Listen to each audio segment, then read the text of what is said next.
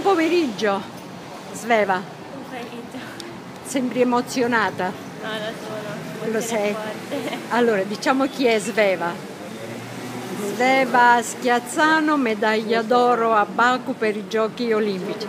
Ma dimmi una cosa, quando ti sei accorta che era medaglia d'oro, che cosa hai provato? Piangevo, ho pianto tantissimo perché ero emozionatissima.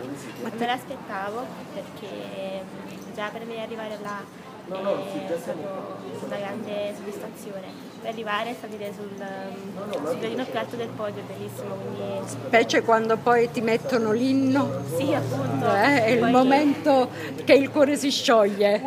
Sì, a cantare era bellissimo. È stato Se mi bellissimo. posso permettere, entro in scena 16, 40 e 17. Avresti mai pensato prima di, di gareggiare? No, no, per nulla, anche perché sono migliorata a 22 secondi e questo tempo mi ha anche permesso di la qualificazione ai mondiali juniores che si terranno a Singapore. Grazie, grazie molto. Senti una cosa, ma io devo continuare, voglio sapere le altre cose di questa bella ragazza. Adesso che fai? Quali sono i tuoi prossimi programmi proprio do- da domani?